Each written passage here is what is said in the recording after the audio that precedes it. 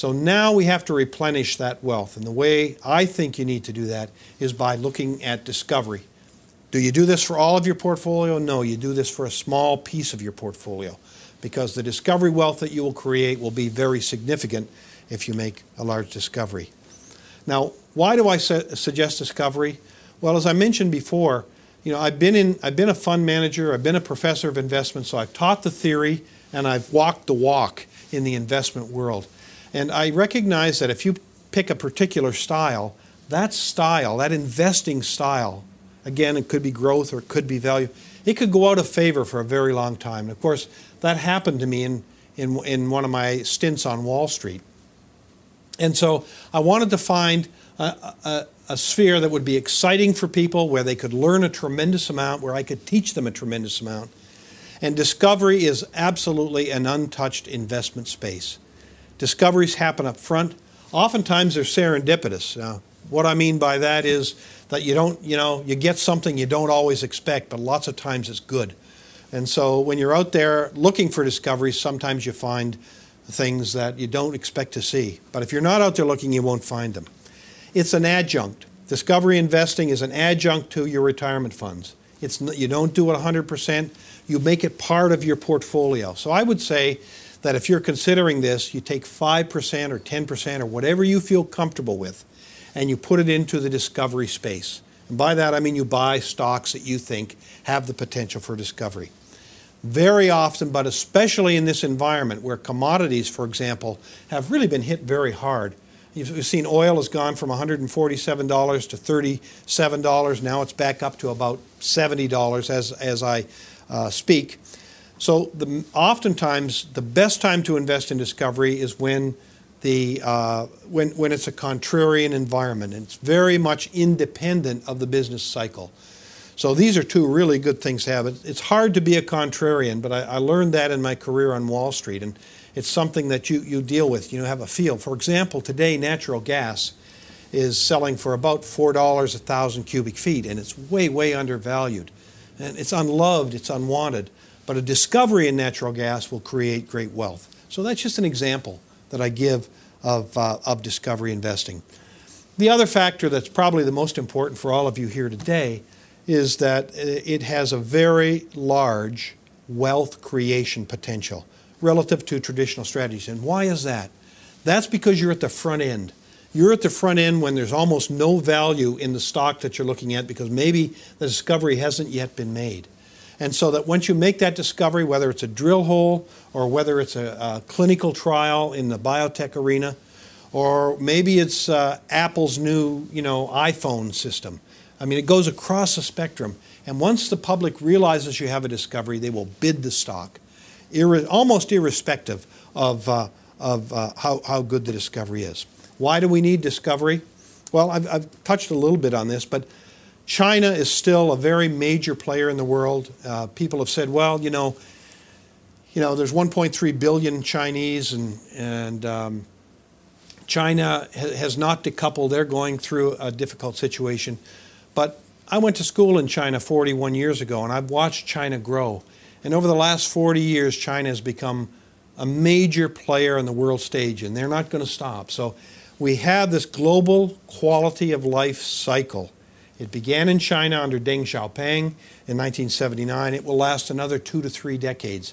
Once we get through this recession, you're going to see growth in China, you're going to see growth in India. What we call the BRICS Brazil, Russia, India, and China they will all start to grow again. And that growth will be predicated on their, the people in those countries wanting a higher quality of life. It will require the discovery process. We will have to discover minerals, energies, energy uh, uh, commodities. We'll have to figure out new ways of building um, agricultural commodities, new discoveries in the ag, ag space. And uh, of course, Canada is, is, is way ahead in many of these areas. Also, what we see happening today that makes discovery important is what we call resource nationalism. It's the second point on the slide here. And in, in, this case, you know that just as an example, but it's happening everywhere, but Russia disallowed foreign control of uh, their companies, of Russian companies, in July of 2008. They suspended natural gas distribution to the Ukraine and Western Europe in 2008. And as of June 2009, the US government decided that they would buy all of their uranium from the Russians. So there's this sort of resource nationalism happening now, and, and uh, it's going to mean that there's a higher premium on discoveries because if you take a look at Venezuela, they're nationalizing everything, and Iran is, is uh, uh, doing the same type of thing. Finally, we need discovery because there are 87 million, I estimate, 87 million relatively impoverished U.S. and Canadian baby boomers. Now, I'm entering the baby boomer phase, so I, I, know what I'm talking about here. Many of these baby boomers have just been through the most gut wrenching wealth destruction cycle of their lives, where they thought they were going to retire in two or three years in, in a comfortable lifestyle, and they found out now they have 50%, 30%, 20% less wealth. And so they need to be in the discovery space. They, many of them don't know it yet. But this is why I go out and speak about this, um, this, this uh, uh, particular investment discipline. They must create additional wealth due to pension, their pension declines, vanishing safety nets that we see, particularly in the U.S., the decline of fiat currency, and you all know what I mean by that, the decline of the dollar relative to other currencies and relative to commodities, and uh, through inflation and through tax increases. Okay, so what about China and India? They have what we call a nascent or beginning QOL cycle, quality of life cycle. And this is where people are now learning about televisions and cars. You know, I lectured in China in the 60s, and I went back there and talked to the Chinese government in 1995. And I, I took my wife with me, and, and uh, we asked the Chinese government, you know, uh, what is the goal of the government of China? This was 1995, and the official guide said, the goal of the government of China is to electrify every home. And that means one light bulb in every home. Now, I can assure you now the Chinese want color TVs in every home. That's the quality of life change that I'm talking about. And you have to have discovery to be able to do that. You have to create wealth to be able to do that kind of increase of quality of life. So, uh, you know, it is not now dead. This is from uh, Professor Jared Diamond. He, he had a New York Times op ed piece in January of 2008. Um, uh, Jared Diamond is famous for Blood, Germs, and Steel. It was a book he wrote, and I recommend to everyone in here that you, you should read that because it's really about this increasing quality of life in the world. This is what he said, and I qu- I'm quoting him now. If India as well as China were to catch up with Canadians and Americans and Europeans, world consumption rates would triple. Okay, now if world consumption is going to triple, you better be discovering the kinds of assets that can support that tripling. Whether it's copper or whether you're growing more wheat, uh, you're finding out how to how to create more food, how to process more food. These are all the discovery issues. If the whole world, if the whole developing world, were suddenly to catch up, world consumption rates would increase by 11 times. So where we are today in the U.S. and Canada primarily, and in Western Europe, you can multiply that consumption rate by 11 and that's the kind of, of, of consumption we would have to have. It would be, Gerald Diamond, Professor Diamond says, it would be as if the world population ballooned to 72 billion.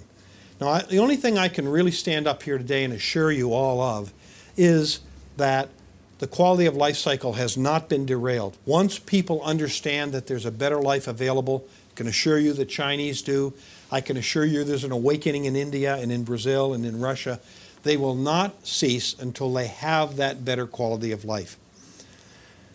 Professor Diamond says some optimists claim we could support a world with 9 billion people. That's the current forecast for the population in 2050. But I haven't met anyone crazy enough to claim that we could support 72 billion. Think about that 72, the effect of 72 billion people all desiring automobiles and televisions and, and a better home and, and the nutrition necessary to live. So discovery investing will, will, will be only become more critical as we go down the road. And now I think we talk about some good examples. The strange case of oil, of petroleum. Uh, it's, a, it's a dirty word in, in Washington now because of the environmental impact of some of these uh, Uh, fuels.